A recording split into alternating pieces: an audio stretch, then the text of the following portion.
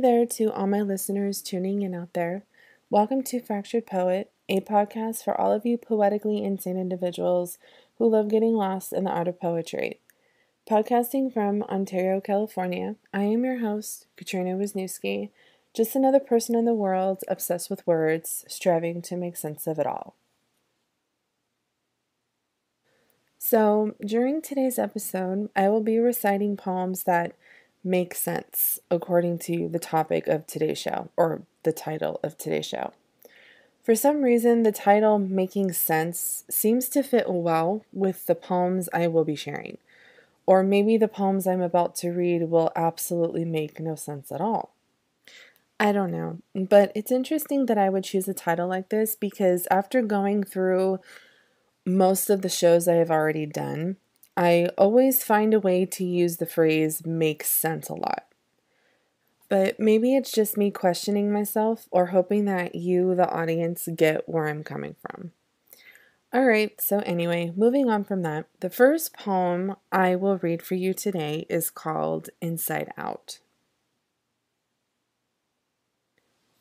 Frustration, irritation, tired of the back and forth tired of the constant bickering, bothered, pressured.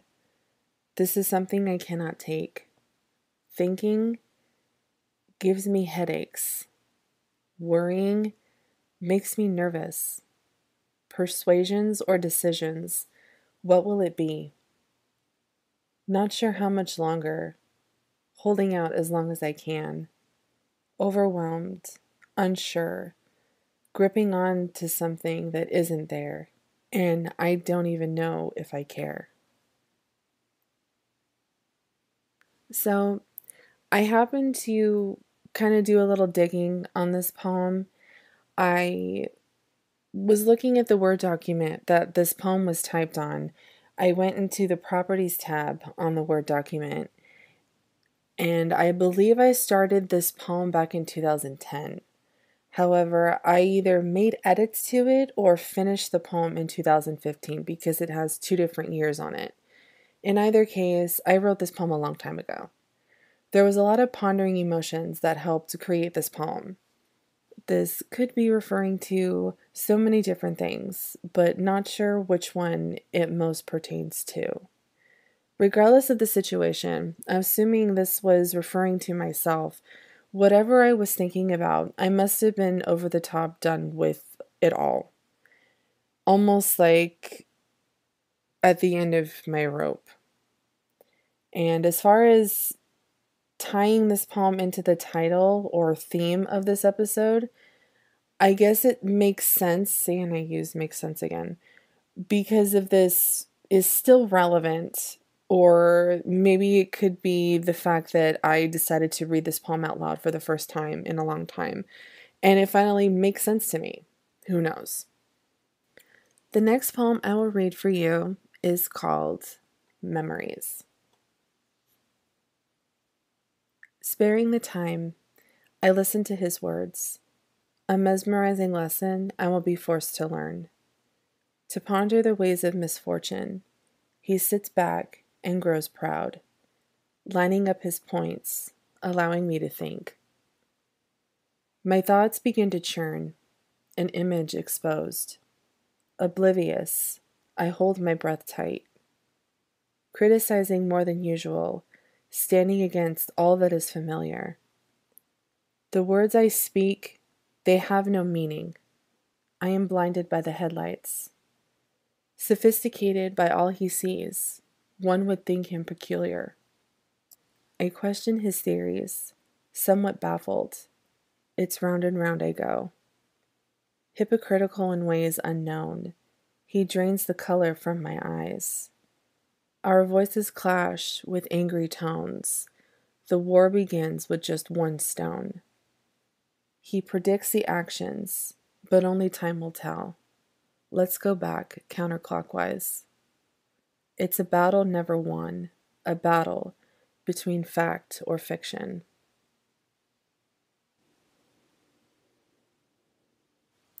After reading this poem, I can't help but wonder why I titled this poem Memories. This has nothing to do with me or anything I have ever experienced, so it can't be referring to my memories. But then again, not every poem has to be about me or is about me at all. This poem could have just been one of many poems that, like I have explained so many times before, came out of nowhere. I could have been watching a movie or a music video that had something to do with what the poem is talking about. Maybe it was none of the above. I do, however, like this poem. I like the way it's worded and the emotion being pulled from it. And going back on how it fits with the theme of this episode, maybe reading this poem helped me understand something that I didn't understand before. It could have triggered a memory that I completely forgot about until now. I can't really say. Honestly, I don't remember when I wrote this poem. My guess is around mid 2000s but I can't help but think about how relevant this poem is today. Well, at least relevant at the time when I started writing out this episode back in October of 2020. People have turned against each other in ways I have never really experienced before. If someone voices their opinion, it's usually not the same opinion as the opposing party, in which case, one party or both begin to criticize the other which then comes the threaten to be rid of them because of their views, or more than likely leading to slanderous words being thrown out here or there. This poem sadly kind of describes those moments in a nutshell. It's almost as if having your own opinion automatically puts you in the black book. You no longer matter unless you have the same views and opinions as I do. Yet, weren't we brought up and taught to have our own opinion, to never be forced into or be bullied to carry someone else's opinion if it's not what we believe in. The whole if your friends jumped off of a bridge, would you type of scenario. You can listen to someone talk for hours on any given topic, never uttering a word. However, once you open your mouth and speak one word opposite of theirs, all hell breaks loose and suddenly you have no sense. I don't know. Maybe I am just talking out of my ass, but this is how I have felt since the start of 2020's fuckery. I could be reading too much into it, and then again, this could intertwine with the entire theme to this episode, making sense. But moving on to the next poem, this one does not have a title. Her mind is a mystery, emotions building inside much too difficult to control. Her tears reveal disappointment, exposing the hatred flustering within, losing those close to her. Blunt and revengeful, a story with no happy ending. Speaking inappropriately, verbalizing only the truth, refusing to apologize. Oftentimes defending herself, some do not approve criticized, belittled, taunted. Her blood begins to boil. Her hands tremble, standing her ground. Silence is no longer an option as the anger rises, forcing out a vengeful scream, almost becoming fearless and unaware of what will come next. I wrote this poem back in March of 2014. This poem has a lot of emotion attached to every single word that I read. I know this poem is referring to something that personally took place in my life, but I can't remember exactly which moment. There was a lot.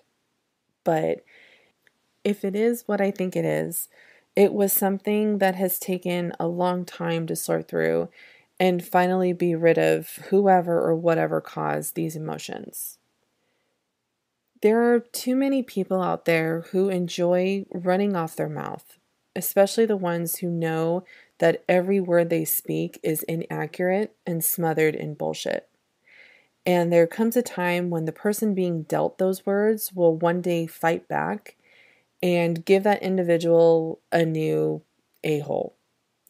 or just simply write you off as invalid and live life believing you don't exist, removing the toxic, if you will.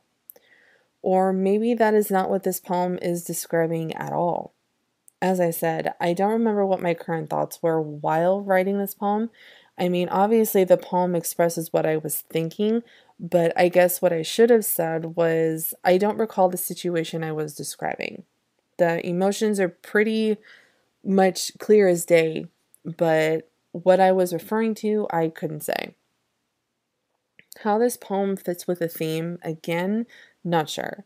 Maybe if I read this poem enough times, it might jog my memory and force me to remember what I was talking about. All right, so the next poem I am going to read does not have a title, again, so here it goes. It's funny how quickly people can drift away, to act as though they did not exist, and erase themselves completely.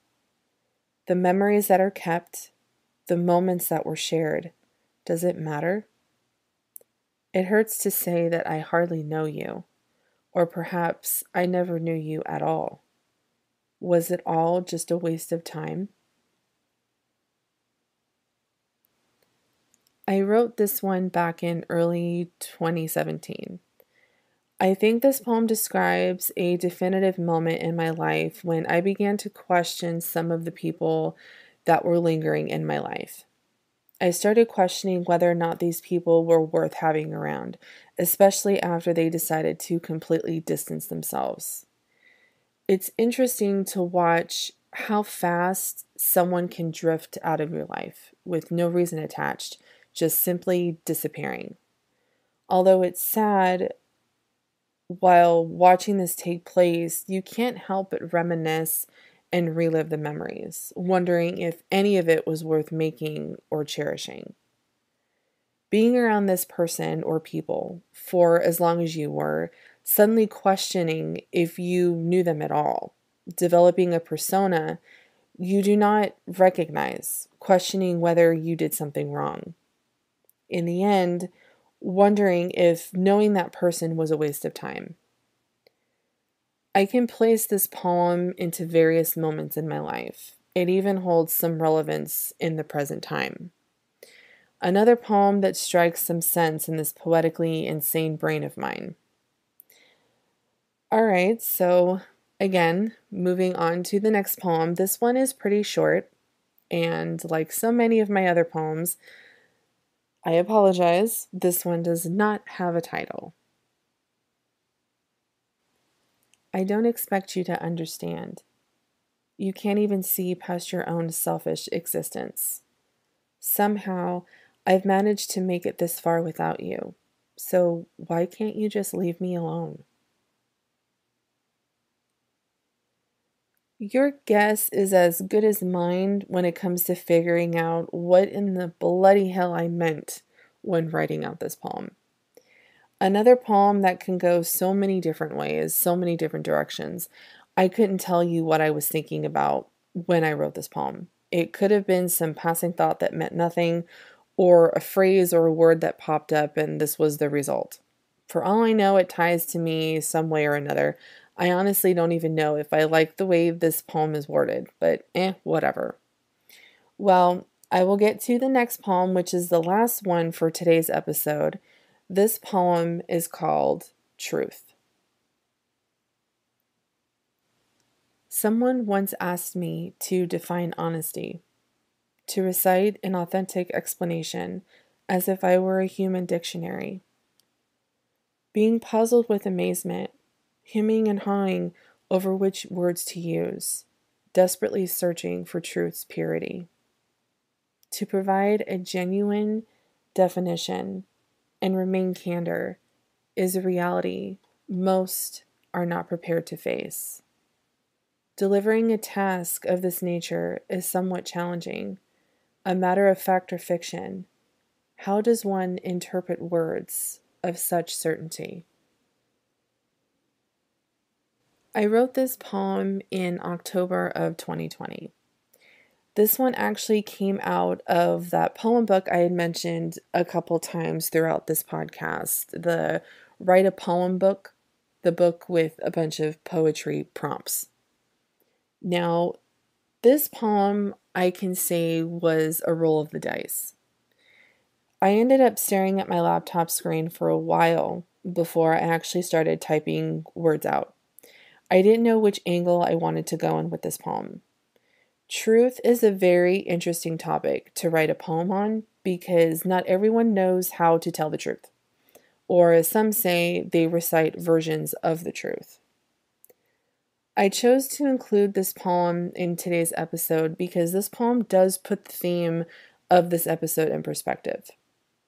It kind of puts you in your place and forces you to really understand the meaning behind the word truth, forcing you to make sense of things.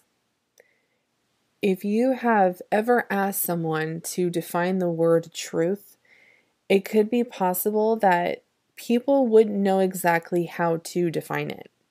Some may recite the dictionary's version of truth, and for all you know, you will never get a genuine definition. Everyone could have their own definition of truth. Truth can often get misplaced and misinterpreted. And it is that much easier for someone to reconstruct the truth.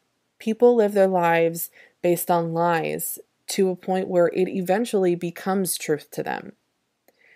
I would be curious to see how someone would react if I randomly asked them to define truth.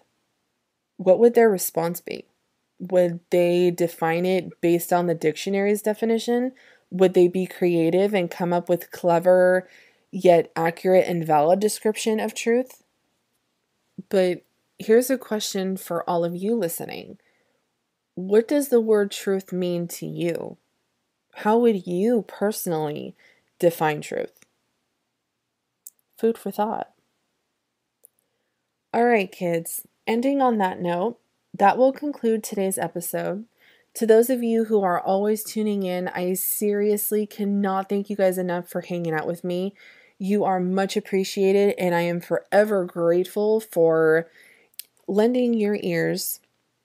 And to those who are just joining in, I hope you liked what you heard and tune in next time. You can catch this and future episodes at anchor.fm forward slash fractured poet.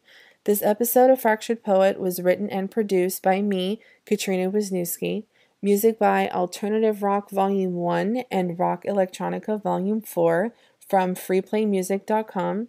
You can also follow me on Instagram at Fractured Poet. And as always, thanks for listening, and until next time.